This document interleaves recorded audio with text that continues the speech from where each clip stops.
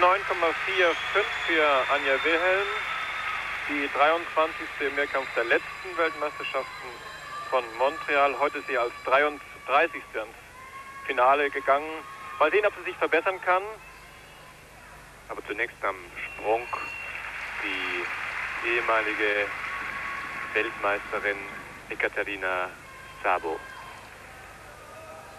Sie ist ja der ruhige, ruhende Pol in ihrer Mannschaft. Steht fast jeden Sprung. So auch diesen Tsukahara bzw. Jurchenko mit ganzer Drehung in der gehockten Position.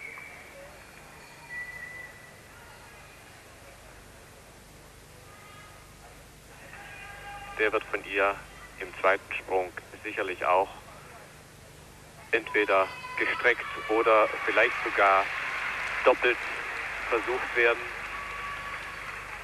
Ja, mittlerweile wird sich wohl der Wettkampf auf einen Zweikampf 9,925 für Ekaterina Sabo, auf einen Zweikampf zwischen der Sowjetrussin Jelena Schuschonova und der Rumänin Aurelia Dobre herausschälen, denn beide haben die gleiche Punktzahl. Und dann wird man gespannt sein dürfen, Jekaterina Sabo sich in diesem Feld behauptet. Nun der zweite Sprung. Wieder die Radwende aufs Brett. In gestreckter Position, leicht angebückt vor der Landung. Ja, das dürfte mindestens auch wieder über 9,9 liegen.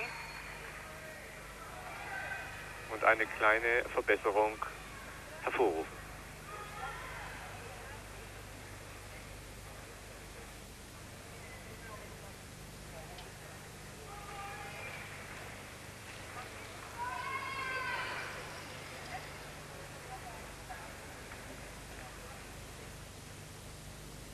Jekaterina Sabo war bei den vergangenen Weltmeisterschaften in Montreal 1985 Zweite im Mehrkampf und